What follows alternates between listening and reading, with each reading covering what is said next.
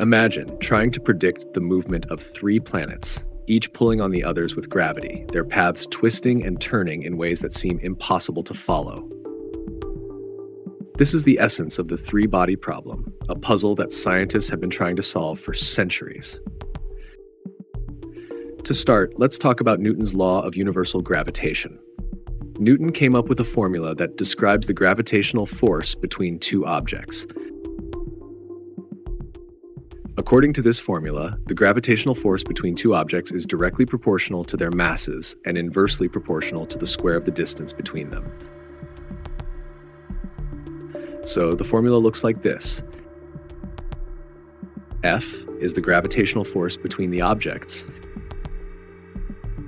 M1, M2 are the masses of the two objects. R is the distance between them. G is the gravitational constant. This formula works perfectly for two objects, and we can use it to predict their motion. But what happens when there are three objects? The formula still works, but things get complicated. Each object pulls on the other two, creating an intricate web of interactions. In a two body system, we have a clear solution and can easily predict their motion. But with three objects, the forces between them are constantly changing as they move. A small change can lead to huge differences in the system's behavior. This is what makes it so difficult to predict exactly what will happen.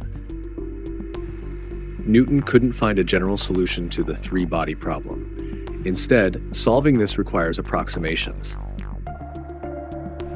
In conclusion, the three body problem is a major challenge because many systems in the universe, like star systems and planetary systems, involve multiple interacting bodies.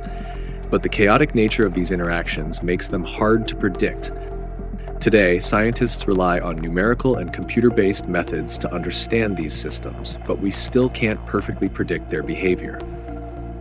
So, while the universe may be full of mysteries, one thing is clear even the most complex systems can teach us more about how everything is connected. If you enjoyed this video, don't forget to like, subscribe, and hit the bell for more content on fascinating science topics. Thanks for watching.